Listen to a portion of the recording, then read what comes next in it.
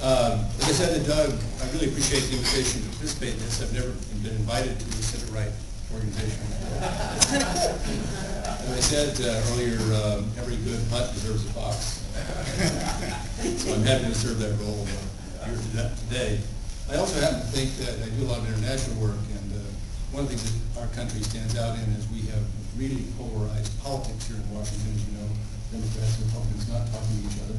Uh, But we also a very, they have this quaint notion in Europe and a way in, in, in Asia, where the social partners talk to each other.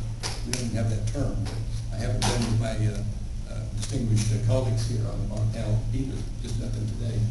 Uh, We interact business and labor uh, primarily by fighting each other in ad wars and lobbying campaigns, et cetera.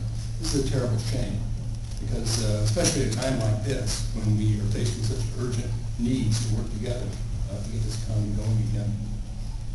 Uh, I also wanted to say, and uh, um, uh, Mr. Kling uh, made, I think, a point toward modesty here.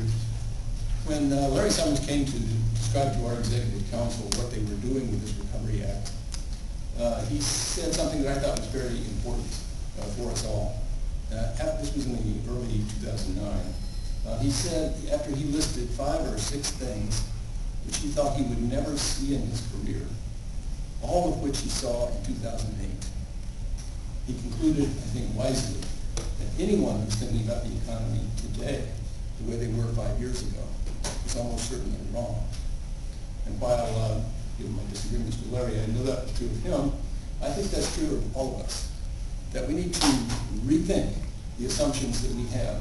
I also think we need to hang our uh, metaphorical holsters on the door uh, and address the kinds of problems we have with a more, much more